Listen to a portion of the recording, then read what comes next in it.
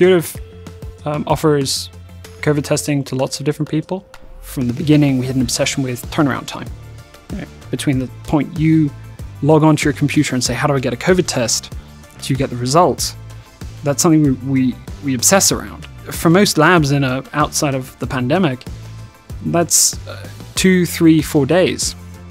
And, um, and I think a lot of attention has been put on the pandemic to say, well, why?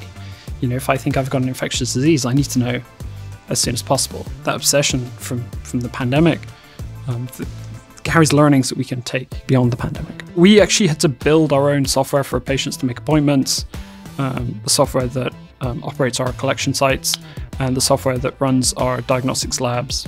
Off the shelf solutions um, were either too clunky or just wouldn't scale.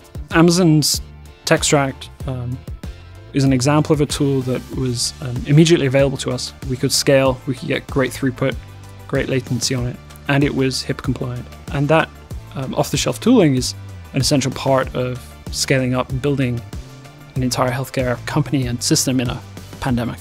Curative success has really shown that there's a space in healthcare for a new approach to delivering services. Maybe thinking about how to get those to patients in ways that are convenient and accessible, building services that um, are very uh, accessible digitally, but also um, can be used by people who don't want to touch a laptop or a tablet or a phone at all.